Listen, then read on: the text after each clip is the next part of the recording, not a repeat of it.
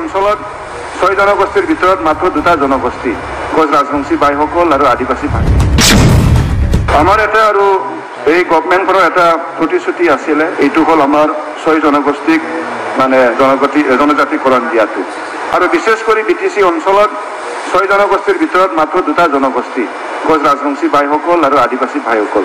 তেওঁলোকক তেওঁলোক যিহেতু আমাৰ বি টি ডি অঞ্চলত আছে বি টি চি অঞ্চলত আছে আমাৰ যোৱা যি চৰকাৰ হাগ্ৰামা মহিলাই ডাঙৰীয়া নেতৃত্বত যি চৰকাৰ আছিলে বি টি চি এছেম্বলিৰ পৰা তেওঁলোকে এটা ৰিজলিউশ্যন লৈ পেলাই গভমেণ্ট অফ ইণ্ডিয়ালৈ এটা ৰিজলিউশ্যন পঠাইছিল এটা এন অ' চি পঠাইছিল। অন্য জেগাত হওক নহওক আমাৰ বি টি চি অঞ্চলত থকা কোচ ৰাজবংশী ভাইসকল আৰু আদিবাসী ভাইসকলক এষ্টিকৰণ কৰিব লাগে। তো তাৰ কাৰণে এই ক্ষেত্ৰত যিহেতু গভমেণ্টে যথেষ্ট পদক্ষেপ লৈছে মই ধন্যবাদ যাচিব লাগিব। এষ্টিকৰণ কৰিবৰ কাৰণে ছয় জনগোষ্ঠীক লোকসভাতো বিল উত্থাপন হ'ল ৰাজ্যসভাত বিল উত্থাপন হ'ল আজি ইয়াত কেবিনেট কমিটি কৰা হ'ল। কিন্তু এতিয়ালৈকে আমাৰ গভমেণ্ট শেষ হ'বলৈ গৈ আছে কেতিয়া এইটো ফাইনেল হ'ব? কেতিয়া ইছ্যুটো আমি শেষ কৰিব পাৰিম? তো তাৰ কাৰণে ইয়াৰ ক্ষেত্ৰত মই ভাবোঁ গভমেণ্টে যি আমাৰ প্ৰতিশ্ৰুতি দিছিল আমি একেলগে যিহেতু প্ৰতিশ্ৰুতি দিছিল এই প্ৰতিশ্ৰুতিটো ৰাখিব লাগে।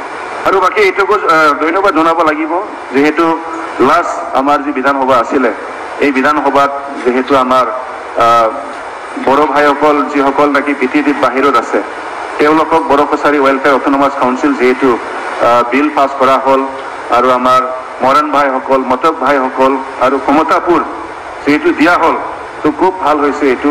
মই চৰকাৰক বহুত ধন্যবাদ যাচিছোঁ।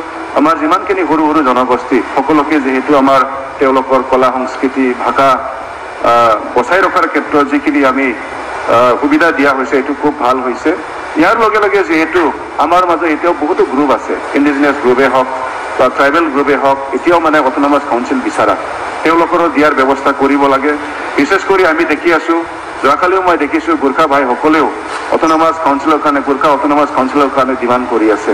তো মই ভাবোঁ যিহেতু সকলোকে দিয়া হৈছে তো গোৰ্খা ভাইসকলকো অট'নমাছ কাউন্সিল দিয়াৰ ব্যৱস্থা যদি গভমেণ্টে ব্যৱস্থা কৰে খুব ভাল হ'ব বুলি মই অনুভৱ কৰিছোঁ।